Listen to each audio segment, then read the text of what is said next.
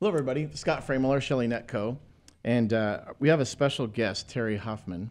Um, we're here to talk about autism today on the Mental Knot. And uh, you know what's you know what's weird is every time like there's three cameras or three TVs, and I'm like looking around and like Right. there's three of me going. I know. You know, Like it a freaks you out, swivel, doesn't it? yeah. Freak you out a little bit.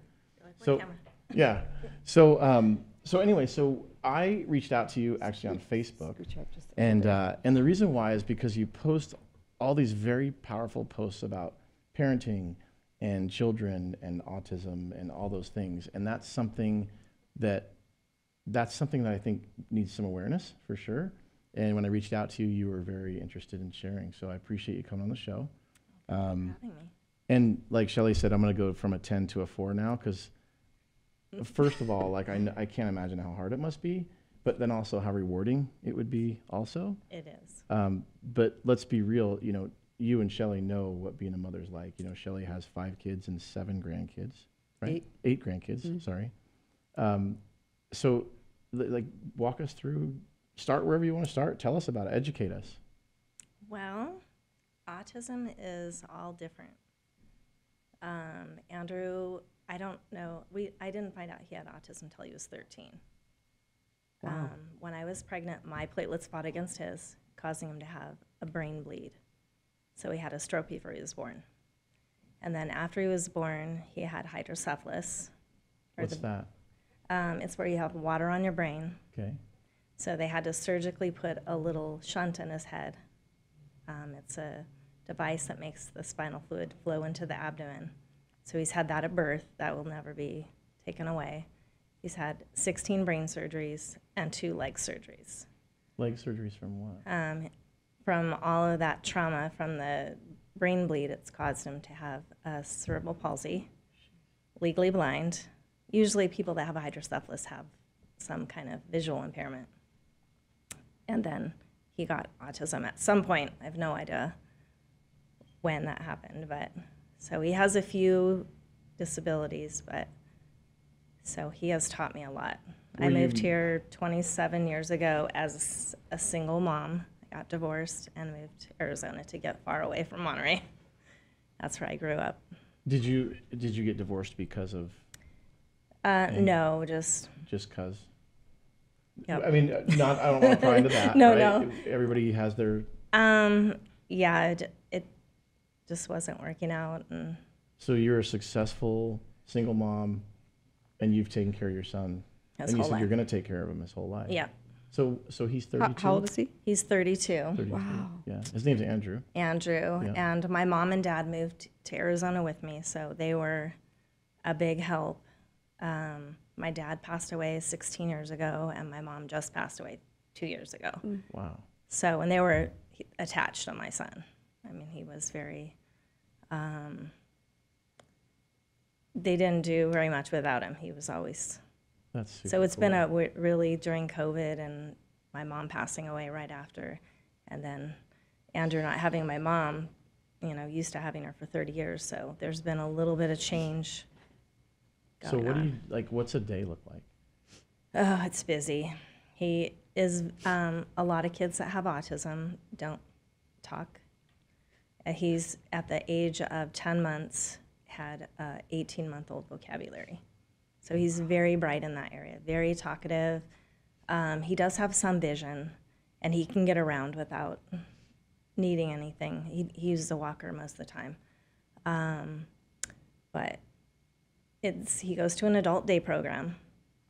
They pick him up in the morning and then they drop him off in the evening. So, but at night or when he's not at his program, because during COVID he was with me for seven months straight. Now he's like, I don't want to go to my program. I just want to be home with you, mom. um, I got my real estate license in that time, so I could be home with him. Once my mom passed away, I thought I need to do something to where I have more time to spend with him. And so now he thinks he's my partner. So he's like, Well, I want to go with you everywhere. And I said, Well, you can't go everywhere with me. Right. But um, at night it's very busy. I mean, he can't fix dinner by himself or, you know, take a shower by himself or any of that. He needs help with everything that he does. He can do it a little bit, but he he needs that constant. So like from a relationship standpoint, he's is he Um, like could like is the, is there? I don't even know how to say it. Like, is there a next step, or is this just it? I don't really know. I mean, when he was first born, they told me he was going to be a vegetable if he lived. He wasn't going to be, he was not going to see, he was going to be blind. And obviously, he, he has vision and he's definitely not a vegetable. So, you know, I don't know. How, so I, I'm at a restaurant or whatever, and I see somebody come in with a child with special needs, mm-hmm. and I always wonder. I'm like, man, that must be super hard. Like, but even just going to a restaurant is super hard. Doing anything is super hard. Everything is really hard. It, and if it's not in his routine, Does it mess him up? yeah, routine is very important for them. So the movies you, we watch, those it's critical. Yeah. Have you ever watched Atypical? I don't think so. I, Rain Man comes to mind though. Rain Man, um, they're, most children or adults that have autism are extremely brilliant. It's just they're, they can't do certain things, but it's all there at times. He's What's- very verbal, but What's Andrew's gift? What is he good at? he's very good at um, just being happy. I mean, he's a really happy kid. That's cool. Um, he's very smart, very intelligent with his vocabulary. That's really neat. I, I know one of the things that um, that m- mothers of autistic children really lack is is getting that reciprocal affection. Is, is that something that you've struggled with? Um, you know, he's pretty easy about that. I mean, he'll let me hug him, but if I kiss him, like I'll say, "Give me a kiss," he'll go like he'll move his cheek to me because they don't really like that physical touch. Right. But he's different, um, and I don't know if it's. I don't really know why he's so verbal and others aren't so verbal. Um, but he loves to have his feet touched all the time. My girlfriends come over, any of my friends, and they're like, he goes, "Will you tickle my feet?" I go, "You don't ask my friends to tickle your feet." Yes, and he it's does. only my girl, my girlfriends, not my guy friends. He Oh, doesn't that's ask cute. them. I love that. But the girls are like, "Oh, you want me to tickle your right. feet? Okay." And he's like, "I have lots of girlfriends," and I'm like. I love that. he has lots. Awesome. Of, he's kind of um, he kind of goes towards women, Mm-hmm. and I don't know why. If it's, I mean, he's had my dad in his life his whole life, and Mm-hmm. now I have I have a stepdad who is very very involved the last 16 years, and he's right there Mm. for him. Um, in fact, he's picking him up from my house today. Mm-hmm. Um, but he just I don't know. He gravitates to women, but no. Every day he's like, "Mom, will you find me a dad?" And I'm like, "Well, it's not so you find easy. Not like I can just go and Yeah, don't we always for a Checking it. relationship? Yeah. like, If we could all just like, yeah, Right? then we'd be, then Yeah. we'd be set, right? yeah." What, um, what do you do for you? Um, that's probably why when we're talking about doing the exercise, it's just to get away, or Just to if I have lunch with one of my friends, you know, just have kind of normal. Or I'm always on the phone with them, but So it's constant. it's pretty much constant. Yeah. If it wasn't for my stepdad, you don't, because you can't just hire a babysitter to come over.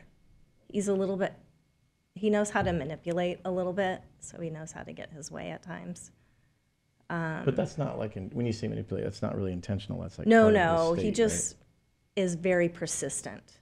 I mean, when he wants something, he won't give up. You Isn't might have to say it like, guys are? No. Pretty much the Wait. ones I know. maybe. I'm, not, I'm, Maybe. I'm making a joke about it, but it's like Yeah. kind of, It's his man part, maybe. I yeah, don't maybe, know. maybe, yeah, His yeah, man card that he pulls, maybe. yeah. That's interesting. That's funny. What, um, do you have like a group or friends or like? I you do. support? all Like, my friends support? love Andrew. They're like, you know, they all chip in and say, hey, let's all go out to lunch, or they'll come over for dinner and want to hang out with him, or let's go do tacos, or. So I do have a really, a lot of really, really close friends. Does Andrew have friends like in? You know, that's the sad part.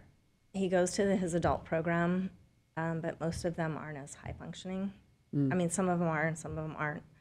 Um, but they don't really, I don't, he kind of gravitates to more, he's always gravitated to like more adult people that can ha- carry on a silly conversation with him.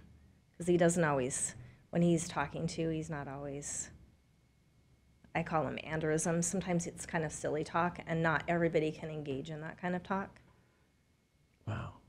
So he acts different with the different people. And it- so is there? You said there's certain types of autism. I don't know. Um, there's certain um, some kids that have autism. It used to be you're on the well now it's that you're on the spectrum. Before there was like high functioning or lower functioning. So they used to say he had Asperger's, but nowadays I think they just say it's on the spectrum. On the spectrum, yeah.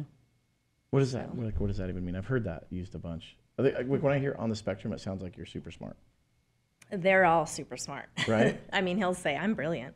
He, he's very, very intelligent. Oh, I think he's a lot smarter than I give him credit for at times because he'll be talking about something. I'm like, how did you even know about that? Things that I don't think that just because sometimes I think of him as a 15 year old in a way, even though he's 32, just because he doesn't go on dates. He doesn't, you know, hey, I'm going to go out with my friends tonight. Um, so driving's out. Driving's out because he's legally blind too. I tease him sometimes. I'm like, "Hey, Andrew, I'm really tired today. Will you drive?" He's like, "Mom, I'm legally blind. I can't drive." I'm like, "All right, guess I won't ask you then." but Does he? Does he like drink or like nothing? doesn't drink. He only drinks water and Coke, even though he calls his Coke his beer. It's like his beer, you know. He's like, "I'm having a beer right now," and I'm like, "Okay." That's cool. So it's totally different. It's this yeah, like it's another world. it's kind of a little isolated at times, just because he doesn't have. I think most kids that have autism don't really have, unless they're so high functioning that they can have a job and all of that. He doesn't have that capability. I mean, maybe a little bit, but hopefully someday he'll be able to do something because he loves computers and he loves certain things. But it's just get keeping him focused. on whatever task. Yeah, because that's kind of a guy thing too. Like it's hard for ev- all guys to focus on shit. I think.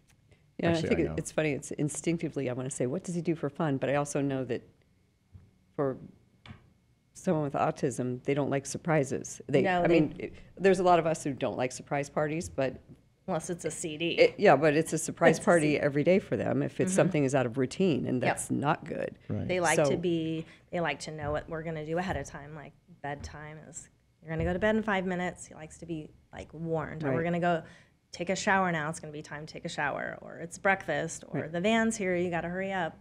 So, mm-hmm. so fun is routine, Yeah, right? that's It's like the comfort zone is that. But Right. I think that's, I don't, somewhat to some level, routine is comfortable for everybody, right? Just mm-hmm. not Right. we that. all like but yeah, this Like, is extreme. This is structured necessary, right? Mm-hmm. right. And high functioning, I think that applies too. Like I've heard people say, oh, you know, he's he's on the spectrum, right? Like somebody's super smart, like oh, they're on the spectrum, and they're super. They like, just have You want to say little- anal or whatever. Yeah, a lot of people are, um, like for Andrew, he has lots, he used to have lots of titles before he had that title of having autism. They said he had progressive developmental disorder, and I said, well, what is that? And it's the, where you perseverate on things, OCD, or um, sometimes uh, he's a little bit more sensitive at times. Uh, especially since my mom passed away, he can be crying in his room. And I'm like, "Why are you crying?" And he's like, "I don't really know." Hmm. Was it hmm. because my Mimi went to heaven? And I said, I don't know. Or your papa went to heaven. Or I had a, an older brother that just passed away four years ago as well. So Jeez, so he's sorry. had a lot of like, thank you, a lot of special people that were on. there Right. all his life, just poof, not mm-hmm. there. So And that's a break in routine too. So Yes. the tough question is, right? Like this is, I think everybody wants to know this. So we go back to that example. You know, you're in a restaurant or whatever, and everybody, everybody's going to look, right? That's just how people abso- are, Mm-hmm. right? And I'm sure that's difficult. They do in the grocery store. They do. Like, right? They're like looking, and so like to support or. it- Do you just not engage, or is it okay to engage, or like what? What do you do? It's okay to engage. I have, um, like when we're going to the checkout stand, a lot of times he'll say something funny and they'll just, they know that he's on the spectrum and they'll just say, oh my gosh, yeah, I hope you have a really good day. Or they'll just kind of go along with whatever he's saying, hmm. you know. But I think, I think it's, they kind of have that inner sense. I know he does. If you're like really ang- have a lot of anxiety, he can feel it. Or if you're calm, he can feel it. He, I don't know what it is about him. it seems like that people sort of pull back in situations like that, right? Like they don't know what to do. Like they think they're different, but they're not really different.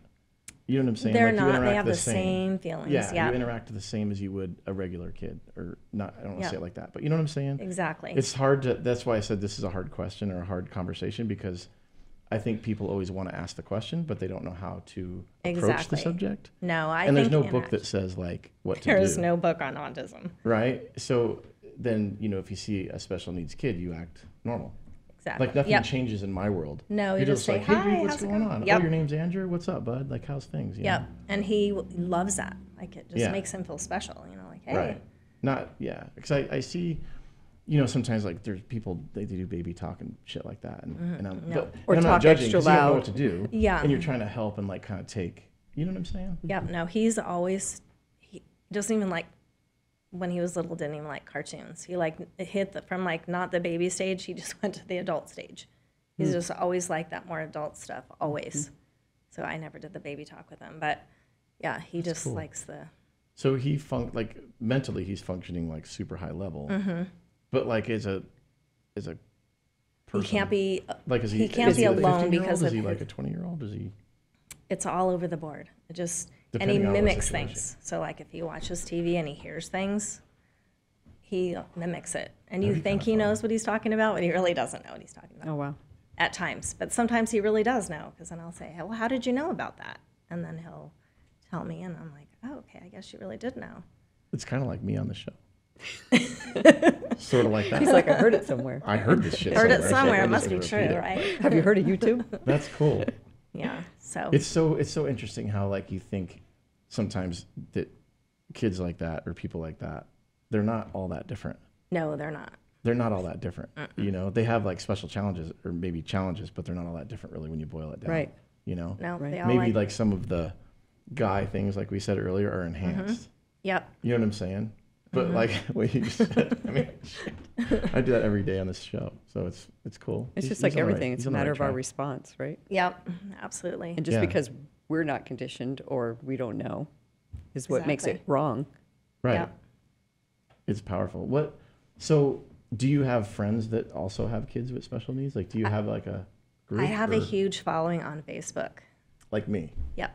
Of friends that um, I do a lot of autism, single parents, or um, I have Peloton. So it's Peloton for people that have special needs kids. And a lot of times we'll, you know, text each other or um, they're like, well, you're, you have a child for 32 years. I need to follow you because I all have younger kids on, you know, how do you handle this? Or how do you, what do you do with this? Or, you know, you've gone through that gauntlet of knowing, but they're all different. Like some certain things work and some certain things don't work. I mean, they all, you have to just find what works for your child. So you're doing that philanthropy piece too. You're giving back. That helps. Mm-hmm. Yeah. I'm sure. I love it. It's amazing. That's cool. That helps. That helps a lot. Mm-hmm. Yeah. Purpose. And then um, hobbies. You said, like, do you? Does he? He I don't know. Would that- stay in his room for hours, always have to have a rocking chair. Everybody, Mm. every time I take him anywhere, they're like, Do you have a rocking chair? Um, so I have a, a con- um, collapsible rocking chair that I take with me if I go on vacation or if I'm going anywhere. And they don't have a rocking chair because he just, it's just that something about the Soothing. rocking It's that they like. They do the stimming with their hands and stuff. He doesn't do a lot of that all the time, but when he's happy, you know, he'll be like, two thumbs up, mom. And I'm like, two thumbs up. But he he likes music. He loves to. He thinks he downloads stuff, but he doesn't really. I mean, he likes to put his CDs in and out of his computer, but it keeps him busy, and he likes to watch how it's made during breakfast, lunch, and dinner. We have to turn that on. He doesn't watch it, but he listens to it. That's cool. So So he is super like. he is. super, he likes super intelligent. intelligent Yeah. stuff. He likes to learn. That's neat. That's really neat. It's amazing. I don't know, you know, like they, they say that things happen in the world like that you're ready for, but that's a big deal. It's a How's big, I always say It's God doesn't give you any more you can handle. I'm like, oh, I think he pretty much does at times. Yeah. like, it's, Yeah. Yeah. Challenging. Dating I mean, is very motherhood in itself challenging. is, is enough, but add this. Right. yeah. You know, we, I joke, Shelly and I joke a lot about relationships, but how like uh, it, relationships have to be hard too for you. Absolutely. Yeah. Um, he is fine. If he really likes someone, he'll be like, "Are you going to marry my mom?" I'm like, Andrew, don't ask him that question.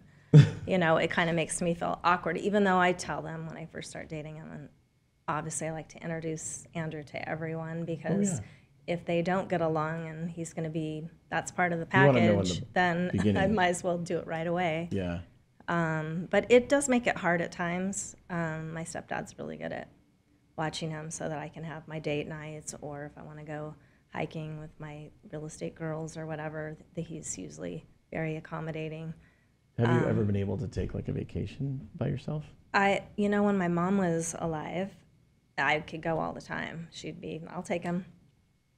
Is there So- any care for like right now? Is there any care? Like you said, getting a babysitter or somebody to care for him is really hard. Is there any care like that would do that for a week, or is there is there that? You know, I don't know. I'm going to check into that because I do want him to have friends too. Sometimes I think he's just at home with me, with his mom, or he's with my stepdad. Yeah. And my stepdad will take him if I say I'm going to go for four days or whatever. I just went on a trip. He's like, I'll watch him. Don't worry about it. Go That's have cool. fun and enjoy yourself because he loves Andrew. He knows him. You know, he's able to take care of him. But it's like a week at a time. Two weeks is pushing it. I would think there'd be some kind of services or something. Like some know. sort of like yeah. I'll- They I'll- do have certain people that could come to your house, Mm-hmm. but they have to kind of know your child. Mm-hmm. For for Andrew, he's just so different. You have to. I Right. think with every child that has a special needs, it's better if you know them a little bit before you're The just layers. yeah. like here, have them for the weekend. They wouldn't even know what to say. It could make it worse because when he used to, he used- went to the blind school for 10 years. And so when he would get ready to go on the bus, I would say, if you're really good, you know, when you get home on Friday, I'll give you five CDs. And he'd be great. But if you say it a different way and you say, if you're not good, you're not getting anything, you kind of put the negatives, mm. then they're not, they, they just hear the negative part of it and they don't. So people that don't know how to word things sometimes, it makes it a little bit harder on his like frustration level. Like he can have an outburst if you say something a little wrong, even though you didn't mean it to be that way. and then so you, you, kind of have to know how to back how to backpedal a little bit. Wow. So you're always like I'm present. all- you're always conscious and present and aware. Yeah. That's always. a lot of energy. That takes a lot. Yeah, it's exhausting at times. Mm-hmm. Not to say So do you sleep a lot?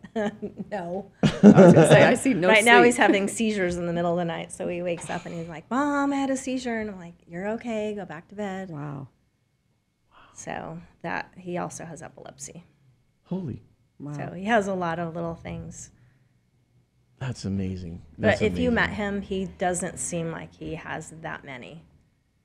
Huh. wow. Even though you can tell, you know, with him walking or he can't, you know, see, he might do this, you Mm-hmm. know, instead of honing in right to it. Wow, that's powerful. Wow. That's so powerful. You know, when I, like you said, you know, the education, I don't think people understand like how hard that is. I don't think they can fathom. No, and I don't even can't even put it into words. Some of my friends, you know, they get hurt when they come to visit, and they're like, "Hey, I want to go out," and sorry, I can't go out because I have Andrew tonight, and it just that like really loud things, you know, was hard for him. He doesn't have to wear earphones like a lot of the kids that have autism. They like to wear the headphones, but sometimes I'm not able to do everything that I want to do when I want to do it Right. because I have Andrew or my stepdad's busy or whatever, and then they get like, I really wanted to go out with you and have my time, and I'm, it just doesn't always. But Selfish most of my friends, yeah. Yeah. Yeah. most of my friends, the girls totally understand. They're like, oh, I know, because they're moms. They kind of understand that that part of it too. Right. Man, yeah. that's amazing. It's a huge sacrifice. You're incredible. Thank Yeah. you. That's powerful. Thank you. It's just, I mean, it's just my card I was dealt. So I don't know. Sometimes I know I've learned a lot of things over the years from him. I probably wouldn't be the person I am today if it wasn't for him. Just Mm-hmm. all the lessons he teaches me, Every day, right? all of his brain surgeries and his leg surgeries. I mean, he's he'll do anything for the nurses too. When he goes in for those kind of procedures, he's like, just don't pull my hair. That's all he cares about is the hair on his arm, you know. like it's, it'll be fine. It'll grow back. Does he get anxiety from that too? Like, does he understand the procedure type thing? Um, he like, does a little stuff? bit. Like I'm waiting to do a shunt series to see if his shunt's working because sometimes it can intermittently work, and some of his behavior lately has been a little bit stick in the mud to, or he'll ask a question 50 times, the same question, and I'm like, you know the answer to that question. Why are you asking? And he'll ask it again, which isn't really like how he used to be. So I don't know if it's the seizures or if it's the, uh, you know, he has a neurosurgeon, for the shunt and a neurologist for the seizure. So it's two different doctors, but they both deal with the brain. Wow. Hmm. That's amazing. So it's all very interesting at times. To it's, it's fascinating to learn about all Like of the it. level of sharing that you just, that's, that's, I mean, I don't even know what to say. You can't It's a say lot. it's cool. you say it's a lot. Yeah, that's a good way to say it. is a right? lot. It is He's a lot. gift, though. He really is. He's a blessing. He he's a happy.